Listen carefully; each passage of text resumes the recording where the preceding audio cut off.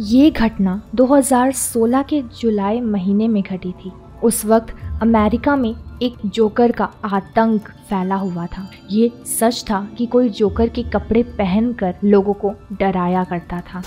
मैंने और मेरे एक फ्रेंड जॉन ने माइलो के यहाँ रात बिताने का प्लान बनाया। हम शाम के तीन बजे पहुँच चुके थे। हम उसके घर पर मूवी देख रहे थे स्नैक्स खा रहे थे, जो मोस्टली टीनेजर्स करते हैं। माइलो का घर पार्क के जस्ट बगल में था। उस रात हम लेट नाइट तक मूवी देखकर बोर हो चुके थे, इसलिए हमने डिसाइड किया कि हम कुछ देर पार्क में टहल कर आते हैं। जब हम पार्क में पहुँचे, उस वक्त रात के ठीक ढाई बज रहे थे। हम पार्क में टहलने लगे और साथ ही हम कुछ बातें भी कर रहे थे। हम पार्क का एक चक्कर लगाकर जैसे ही पार्क के कॉर्नर में पहुँचे, जहाँ पार्क का बाथरूम बना हुआ था, वहाँ हमने किसी को देखा।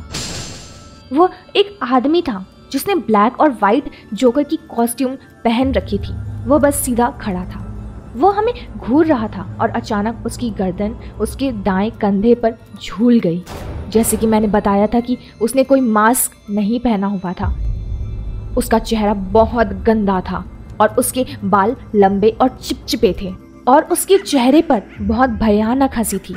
उसकी हँसी ऐसी थी जिसे बहुत सारे कंकड़ किरकिरा रहे हों। वो हमसे कुछ दूरी पर था, लेकिन फिर भी हम उसे देख सकते थे कि वो हमें ही घूर रहा है। हम दोनों बहुत डर गए थे। हम इतना ज़्यादा डर गए थे, हम वहाँ से भाग नहीं पा रहे थे, इसलिए हम वहाँ से भागने की हिम्मत जुटा रहे थे। थ्री टू वन और उसके बाद हम भागने लगे, जितना तेज हम भाग सकते थे। भागते हुए हम सड़क पर पहुँच चुके थे और अब हम माइलो के घर की तरफ़ दौड़ रहे थे। हम जैसे ही माइलो के घर के सामने पहुँचे, हमें बहुत अजीब सी चू चू की आवाज़ सुनाई दी। हमने डर कर पीछे मुड़कर देखा तो हमने देखा, वो जोकर की कॉस्ट्यूम पहना हुआ आदमी हमारा पीछा कर रहा था। और इस वक्त वो रोड के कोने में लगी स्ट्रीट लाइट के पास खड़ा था। उस वक्त वो हमारे पीछे नहीं आ रहा था।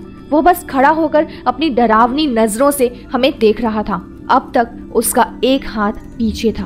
हमारे देखते ही देखते उसने अपने हाथ आगे की और मैंने देखा उसके हाथ में एक बहुत बड़ा किचन नाइफ था। मैं डर कर ज़ोर ज़ोर से माइलो के दरवाजे को पीटने लगी। माइलो ने हमसे पूछा कि क्या हुआ? तो मैंने उसे सारी बातें बताई। उसके बाद हमने माइलो के डोर कैमरे से सड़क पर देखा तो हमने उसे देखा। वो अभी भी सड़क पर माइलो के घर के आसपास ही घूम रहा था और अब भी उसने अपने हाथ में चाकू ले रखा था। ये मेरी ज़िंदगी का सबसे डरावना मोमेंट था। तभी वो आदमी माइलो के घर के दरवाजे की ठीक सामने आ गया। उस वक्त हम तीनों बहुत ज़्यादा डर गए थे। तभी अचानक उस जोकर ने अपना चेहरा कैमरे के बिल्कुल सामने ले आया। ये मेरी ज़िंदगी का सबसे डरावना मोमेंट था। हम दोनों बहुत डर गए थे। तभी अचानक ही वो पीछे पलटा और सड़क पर चला गया। उसके बाद वो कहाँ गया, हमने उसे कभी नहीं देखा और ना ही हमने इस घटना के बारे में किसी के सामने ज़िक्र किया। उसके बाद से मैंने रात के वक्त उस पार्क में आना बंद कर दिया।